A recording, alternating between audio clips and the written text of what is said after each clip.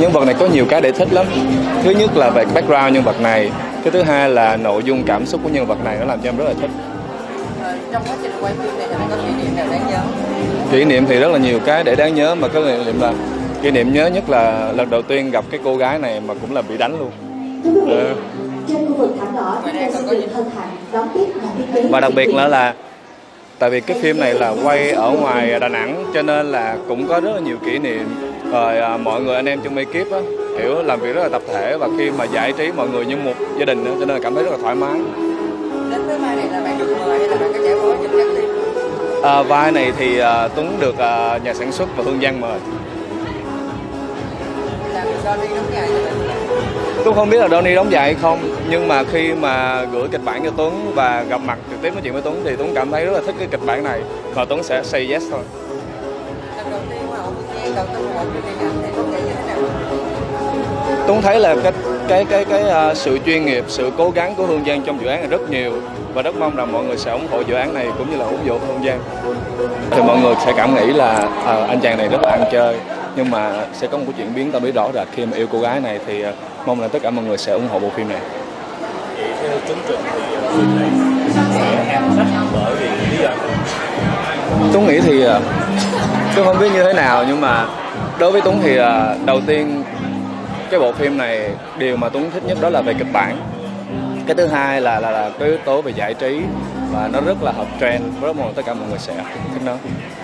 Thì uh, tôi chừng nghĩ là rất là lâu phim ra bắt đầu à, Tuấn nghĩ là không lâu đâu tại vì à, mỗi sản phẩm ekip chắc là chuẩn bị rất là kỹ mọi thứ và mong muốn là mọi thứ phải chỉnh chu nhất để gửi đến tất cả mọi người. Nhiều khi lâu nhưng mà hay hơn thì sao?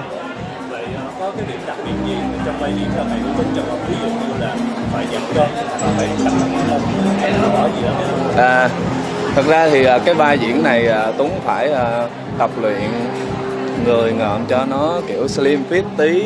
Tại vì à, trong phim này vào vai kiểu à, cũng à, khuôn mặt cũng hơi được một tí cho nên là cũng phải chăm chút bản thân và cũng phải tập luyện thể dục thể thao chứ còn à, võ thuật thì à, trong phim này Tuấn bị đánh không mà.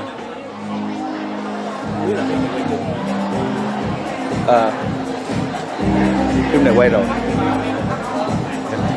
Là đang đúng rồi đang trong giai đoạn hậu kỳ. Mong tất cả mọi người sẽ ủng hộ bộ phim sắc đẹp dối trá. Đây là một bộ phim mà tôi cảm thấy là rất thích kịch bản rất hay và đặc biệt là hương giang diễn diễn cũng rất là hay. Rất mong là mọi người sẽ ủng hộ bộ phim này. Cảm ơn tất cả mọi người em có thể chia sẻ cái vai diễn trong phim lần này. À, phim lần này thì mọi người sẽ ờ, phải bất ngờ về mối quan hệ của em và chị Giang.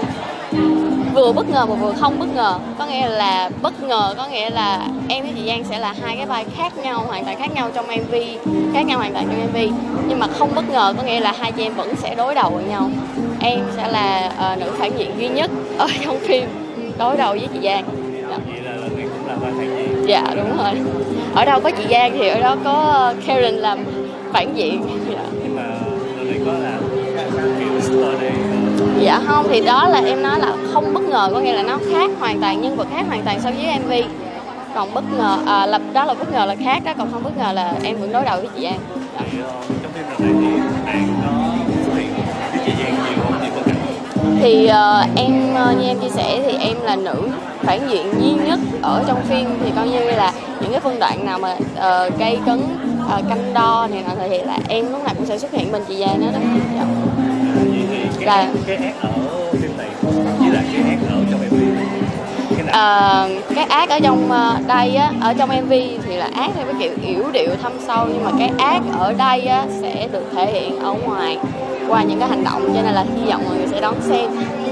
Vậy ờ, theo bạn thì điều nào sẽ khiến khán giả ủng hộ cái phim này? Ủng hộ phim này thứ nhất đó là về ờ, kịch bản phim. Nó ờ, sẽ rất là giống với chị Giang ở ngoài đời. Cái thứ nhất cái thứ hai là chị Giang là một người rất là nhiệt huyết cho cái phần phim này. Hầu hết tất cả những sản phẩm mà cho trình tham gia cùng với chị Giang là cái gì chị cũng rất là tâm huyết. Chị suy nghĩ như là ngày đêm thức ngày đêm để mà làm về uh, làm từ cái câu kịch bản hay là đạo diễn công tác tất cả mọi thứ chị Giang đều tham gia để mà uh, hoàn chỉnh chỉnh chu nhất để có một sản phẩm chỉnh chu nhất cho khán giả. Và cái thứ ba em nghĩ ở đây đó là cái uh, cái sự đối đầu của em với chị Giang sẽ được nâng lên một cái tầm cao mới nó nó khá là gây cấn nó khá là thú vị nên là hy vọng mọi người sẽ đón xem cái phần này.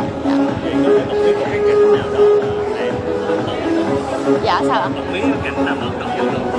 Cái cảnh mà ấn tượng nhất thì ờ, đó là cảnh mà đánh nhau. Em chị Giang đánh nhau. Đó là cảnh ấn tượng nhất. Sau đó về là hai chị em đổ máu à, chày chụa tới bây giờ mà vẫn còn có những vết sẹo luôn á. Dạ cái lời cuối của hy vọng của bạn dành cho khán giả Dạ. À, hy vọng là tất cả mọi người có thể à, cùng nhau ủng hộ sản phẩm của chị Giang cũng như là toàn thể ekip. Và uh, Karen chắc chắn là đây sẽ là một cái phim mà truyền cảm hứng cho tất cả mọi người và một cái phim mà có thể nói về góc khuất của cộng đồng LGBT như chị Giang và sẽ là một cái phim à, đẩy một cái tầm cao mới mối quan hệ của Giang và Hân sẽ lên một cái tầm cao mới hy vọng mọi người đón xem và ủng hộ phim Yeah.